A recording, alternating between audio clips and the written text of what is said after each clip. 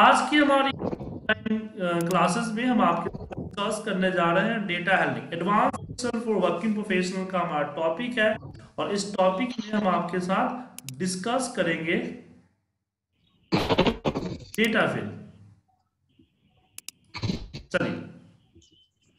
तो Excel seat है सबसे पहले हम बात करते हैं डेटा के बारे में। जैसे हमने कुछ नंबर्स यहाँ डालते हैं कि आपका इंटरनेट बहुत स्लो है इस इंटरनेट पे आप क्लास नहीं ले पाएँगे। हाँ।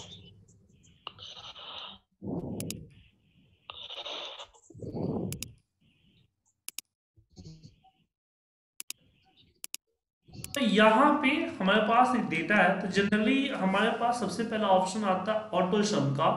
ऑटो मतलब कि जब मैं इस पे क्लिक करूँगा तो ऑटोमेटिकली सम लग जाएगा। यहाँ पे आप देख रहे हैं, हमने क्लिक किया तो इसमें ऑटोमेटिकली सम लग गया। तो इसमें आप यहाँ पे एवरेज या यहाँ पे काउंट नंबर इस तरह की चीज़ें भी लगा सकते हैं। तो इसका बेनिफिट क्या होता है कि हमें फॉर्मूला लिखना और डेटा को सिलेक्ट करने की ज़रूरत नहीं पड़ती है, ये ऑटोमेटिकली आपका सिलेक्ट हो जाता है।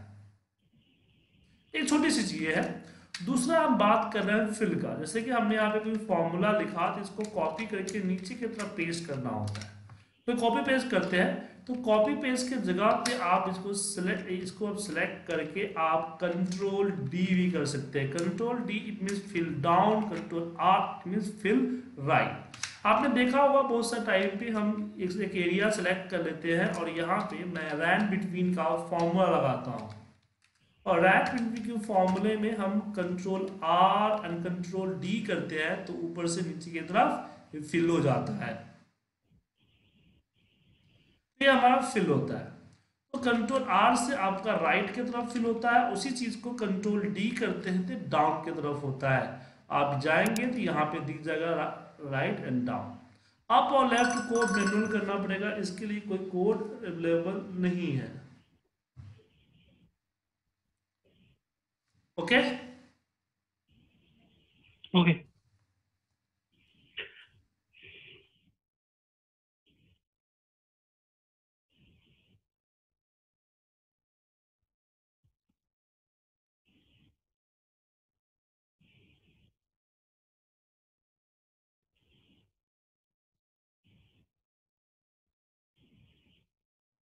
उसके बाद अब बात करते हैं किसकी? फिल की। फिल से पहले हम बात करेंगे एक क्रॉस वर्कशीट में। एक क्रॉस वर्कशीट क्या होता है ये भी बहुत अच्छी चीज़ है जैसे कि आपके पास कई सारे शीट्स हैं कई सारे शीट्स हैं आपके पास। तो मान लीजिए मुझे यहाँ पे आ, हमने डेट एक लिखा यहाँ डेट ए वन पे डेट लिखा और मुझे डेट जो है बाकी सब पे लिखना है। हमने ए वन पे डेट लिखा ये डेट हमें बाकी सब पे लिखना है। तो हम यहाँ कंट्रोल के साथ अगर हम शिफ्ट के साथ अगर हम इस पर क्लिक कर दें और फिर इस पर हम टाइप करें डेट इसमें जो भी हम मूवमेंट करेंगे वो सिर्फ़ सीट वन पे नहीं हर एक सीट पे होगा सेम लोकेशंस पे। हमें क्या करना है? जब आप ए, एक शिफ्ट के साथ अगर स्टार्टिंग और एंड में क्लिक करते हैं तो जितने भी सीट्स है सारे सीट आपकी सिलेक्टेड हो जाते हैं। तो अगर आपको चाहते हैं कि नहीं, मुझे सिर्फ़ सीट कुछ कुछ सीट करना है तो आप शिफ्ट के जगह पे कंट्रोल का इस्तेमाल करेंगे। तो मैं यहाँ पे मान लीजिए टाइम लिखा तो कंट्रोल के करने से क्या हुआ कि कुछ कुछ एरिए पे ही गया। अब सीट फोर को देखें, नहीं है। सीट टू पे है सीट सिक्स नहीं है। तो ये आपका क्या होता है? क्रॉस वर्कशीट होता है। तो इसमें क्या है कि जैसा पूरा जाता है, लेकिन मुझे इसमें से कुछ पार्ट को चाहिए। इसमें कंट्रोल के शिफ्ट के साथ लास्ट में सिलेक्ट किया। पूरा सीट सिलेक्टेड है। ऊपर में ग्रुप भी आ रहा है। तो यहाँ पे हमारे पास क्या है? फिल के अंदर एक्रॉस वर्कशीट तो एक्रॉस वर्कशीट में हमें सहूलियत मिलती है कि हम सिर्फ़ कंटेंट को करें मतलब जो टाइपिंग है उसको करें या फॉर्मेट को करें या ऑल को करें। वो बाकी सारे शीट पे सेम चीज़ सेम फॉर्मेट में सेम लोकेशंस पे आ जाएँगे। तो आप लोगों को समझ में आया इसमें? Datta ji and Rahul ji any doubts no doubt sir all good sir Datta ji आपने रिकॉर्डिंग स्टार्ट नहीं किया है। अल्ट प्लस आर करके अपनी सेशन को रिकॉर्ड कर लें। सर कौन सा प्रेस दबाना है? अल्ट आर या आपकी माई डॉक्यूमेंट के जूम फोल्डर में आज की रिकॉर्डिंग सेव हो जाएगी तो इन फ्यूचर में आपको दिक्कत नहीं होगा। ओके सर थैंक यू आगे बढ़े। हाँ सर अब अगला ऑप्शन इसमें ये तो ठीक है अब अगला ऑप्शन इसमें आता है क्रॉस वर्कशीट के बाद सीरीज़ का। अब सीरीज़ को देखते हैं सीरीज़ क्या करता है।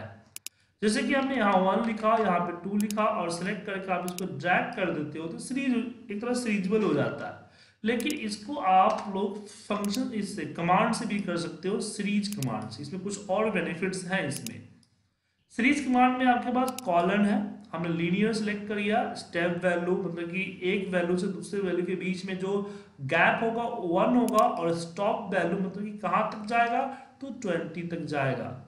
तो ये ट्वेंटी तक ही जाएगा, नहीं छोड़ेंगे तो सिलेक्टेड एरिया तक जाएगा। क्योंकि हमने लीनियर सेलेक्ट किया है।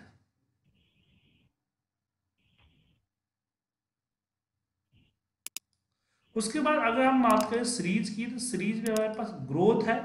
और ग्रोथ में क्या मल्टीप्लीकेशन होता है? तो हमें टू दे दिया तो हर नंबर टू से मल्टीप्लाई हो जाएगा। One two two four eight इस तरह से टू से मल्टीप्लाई हो जाएगा। राइट सर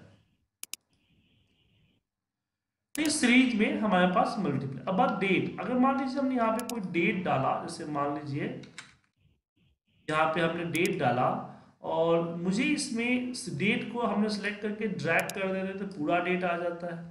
लेकिन मुझे इसमें सैटरडे संडे नहीं चाहिए या सिर्फ़ मंथ वाइज चाहिए ईयर वाइज चाहिए तो we use the series series में हमारे पास यहाँ डे वीक डे कर देंगे तो सिर्फ़ मंडे टू फ्राइडे आएगा। और मंथ कर देंगे तो हर महीने की जो डेट है वो डेट आएगी।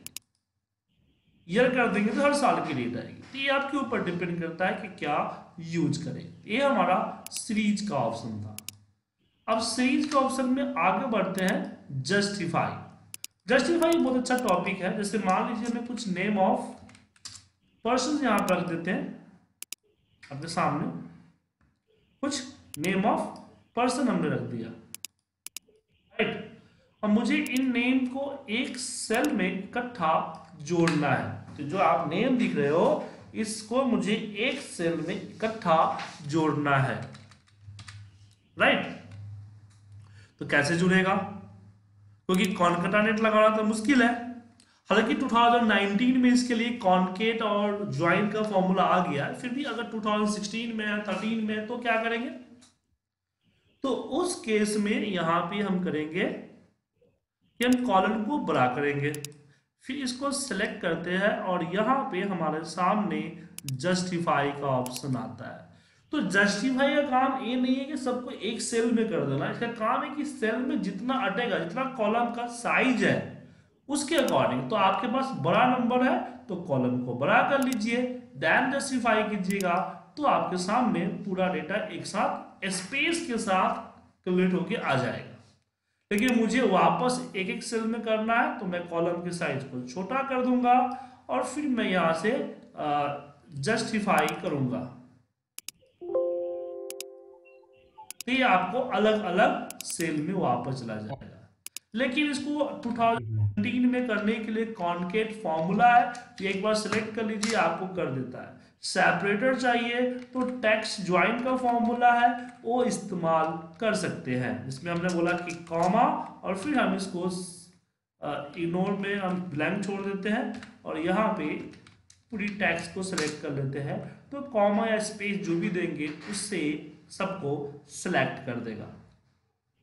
तो ये हमारी थी जस्टिफाई अब अगला आता है हमारा फ्लैश फिल तो फ्लैश फिल को ध्यान से देखिएगा। फ्लैश फिल क्या करता है? फ्लैश फिल काम करता है सेपरेट करना का।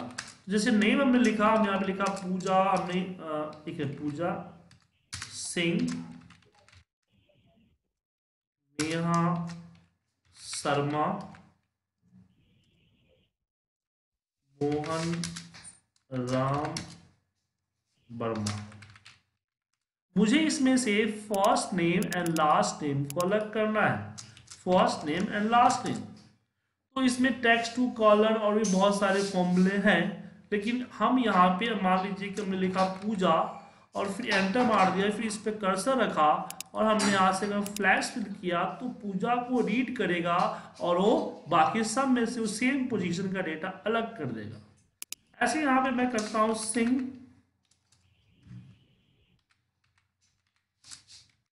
और मैं यहाँ से फ्लैश फिल करता हूँ तो सिंग वाले सारे के सारे अलग हो जाएँगे। ठीक है? यस सर उसी तरह से उसी तरह से हमारे पास डेट्स हैं जैसे कि हमने यहाँ पे डेट दिया। तो डेट में से मुझे मान लीजिए मंथ अलग करना है तो मैंने मंथ जैन लिख दिया और यहाँ पे हमने फ्लैश फिल कर दिया तो हर महीने की जैन मंथ हर डेट की मंथ अलग हो जाएगा।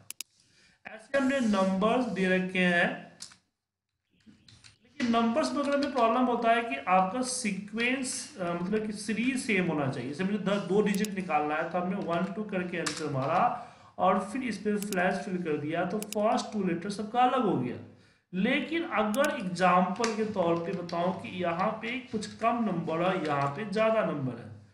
अगर मैं यहाँ पे वन टू करूँगा और फिर मैं यहाँ से फ्लैश फिल करूँगा तो थोड़ी सी दिक्कत हो सकती है।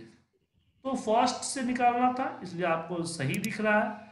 अगर मैं यहाँ पे बोलूँ कि मुझे यहाँ पे ट्वेंटी थ्री निकालना है, ठीक है? क्योंकि मिडल का है तो इसमें देखिए, इसने पैंसठ निकाल दिया अड़तालीस निकाल दिया, इसमें इसने ब्लैंक छोड़ दिया, इसमें इन्होंने पंद्रह निकाल दिया। तो ऐसी प्रॉब्लम होने की चांसेस है तो आप अपना ध्यान से कीजिएगा। अब ऐसे मुझे यहाँ पे अगर डेसिमल्स पॉइंट्स अलग करने हो, कि भाई नंबर्स हैं तो मुझे इसमें से डेसिमल्स अलग करने हैं। तो इसमें ज़ीरो पॉइंट नाइन सिक्स दिया और मैंने इसको सिलेक्ट करके यहाँ से फ्लैश फिल कर दिया तो ये सारे डेसिमल्स अलग हो गए। लेकिन कभी ऐसी प्रॉब्लम हो सकती है जैसे दोनों का सेम हो। जैसे मान डेसिमल ही नहीं, ये हर किसी एग्ज़ाम्पल के लिए बता रहा हूँ कि जैसे पच्चीस रुपए, पच्चीस पैसे। अब इसमें आपके सामने कई सारे नंबर्स हैं। अब प्रॉब्लम ये आगा कि अगर मैं यहाँ पे ज़ीरो पॉइंट टू फाइव करूँ तो एक्सेल कंफ्यूज हो जाएगा कि आखिर निकालना क्या है। तो देखिए, इसने डॉट से पहले वाले को निकाल दिया। कंफ्यूज हो गया ना सर यस तो इसमें आपको ज़रूरी नहीं है कि हम स्टार्टिंग में ही करें। किसी भी ऐसे प्रॉब्लम मान बारह बारह हुआ तो भी तो दिक्कत है? तो उस केस में ज़रूरी नहीं कि हम शुरुआत में करें हम यहाँ नीचे भी कर सकते हैं जिसमें डिफरेंट हो। सिक्स थ्री और इसको सेलेक्ट करके हम इसको फ्लैश फिल कर सकते हैं। तो बाकी सब में ऑटोमेटिकली आ जाएगा। क्लियर है? यस सर अब हम बात करते हैं क्लियर का। जैसे मान लीजिए ये डेटा है मुझे इस डेटा को हटाना है तो जनरल लोग क्या करते हैं? पूरी कॉलम को डिलीट कर देते हैं। पूरी कॉलम डिलीट होने से दो प्रॉब्लम है। पहली दो नहीं तीन प्रॉब्लम होती है। पहली प्रॉब्लम की नीचे के डेटा भी होंगे तो डिलीट होने के चांसेस है। दूसरा अगर इसके कोई फॉर्मूला लगा हुआ है तो वहाँ पे आर आ जाएगा।